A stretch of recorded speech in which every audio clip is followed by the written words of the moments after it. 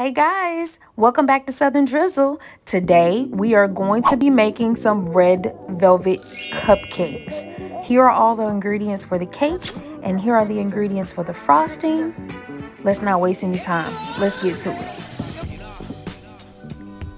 Okay, we're going to start with two cups of all-purpose flour, two heaping tablespoons of cocoa, one teaspoon of salt, one teaspoon of baking soda, and one teaspoon of baking powder and mix it well. Mix it up. Use that wrist. Keep it moving. Keep it. You see, th there we go.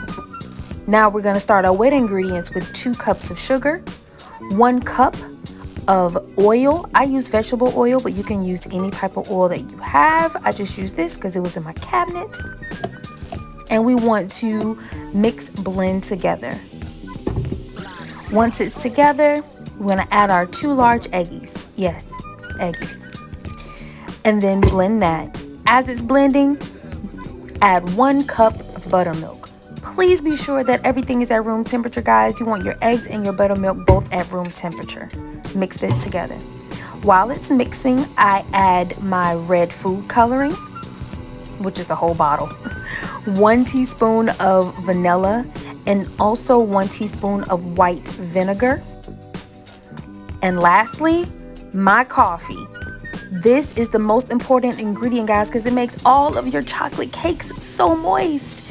And for this, you don't have to put plain coffee. Get creative. There's so many different types of coffee you can put in. My personal favorite is hazelnut. Okay, so we're gonna mix the dry ingredients now. And I also like to have this because I do not want a big flour cloud poof when I start my mixer. So I always like to break my dry ingredient in half. Once you mix everything together, the batter will be thin. So don't be concerned. Don't think you put too much of something in it. No, it's good. This is how it's supposed to look. It's gonna be some thin batter, but it's okay gonna be great. Get your cups ready for your holder and you wanna fill your cups only halfway through. If you go two thirds, it's gonna be too much. You wanna bake at 325 for 15 to 17 minutes and look, I overfilled it. Look at those big old muffins. Look at, oh gosh, disregard that. One thing I want you to look at here is your toothpick will not be clean. And it's okay because you're going to keep those cupcakes in that holder for at least five minutes to continue cooking. Then take them out to completely cool, which they will look something like this. Look at that cake. So I'm to take the casing off here. And you see the little mushroom where it overfilled a little bit. That part itself may form a little crust because it hardened on the hot surface, but it's okay because when you break it open, oh, oh, oh gosh, it's so beautiful. So yeah, I took a bite. And I wanted you to see, even with a fork, how moist this cupcake is. Look at this, look at this. And it's not too moist because it won't stick, but look at that. All right, so what red velvet cupcake is complete without cream cheese frosting? So because this cupcake is so moist, I am going to do a whipped cream cheese frosting using the ingredients you see here. So we're going to start with two blocks of 8 ounce or 16 ounces of cream cheese.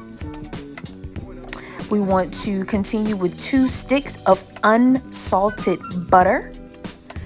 And I add one teaspoon of my homemade vanilla and I whip that girl up. Just, just let it whip, just let it do its thing.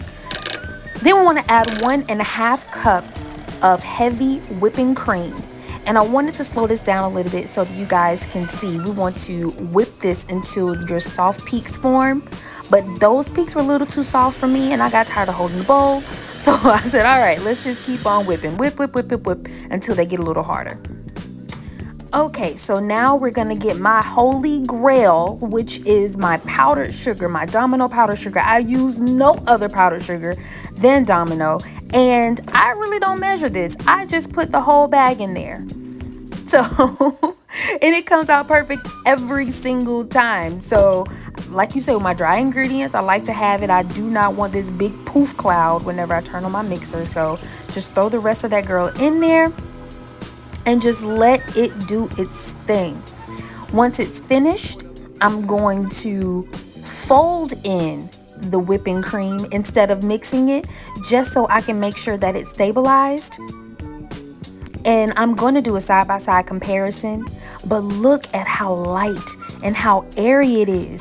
Even though it's light, it still holds a great shape and it forms so that you don't have to worry about it falling over or it not being plausible enough for you to do anything with. This, when I tell you, complements this cupcake very well because it's not overpowering. It's not too much cream cheese. It's not too sweet. It's perfect.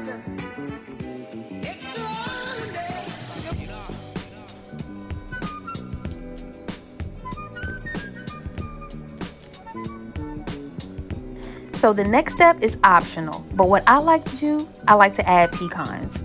Pecans, pecans. I'm from the South. We say pecans. Um, we like to add pecans to our mix here. And I feel, uh, maybe I should say pecans. But nonetheless, I don't think you can have a red velvet cake without pecans. And then I add my southern or signature drizzle, which is only a melted candy wafer. And I love to get different flavors of that, like a candy wafer or a ganache. They're awesome. So I'm just to slow this down, just have one individual cupcake so you can just see exactly what we did here. And instead of the pecans, I just went for the drizzle and I put a cherry on top because it's just cute. And this is the original way that I normally do. Whipped cream, cream cheese, pecans, chocolate drizzle. Take a bite get a fork. And guys, seriously, look at this bite. Look at this bite. It gets no better than that. Well, guys, that's the end of my video. It came so soon. I had such a good time. But I hope you enjoyed the red velvet cupcakes. Leave me a comment. Tell me how they came out for you. I'll see you on the next video.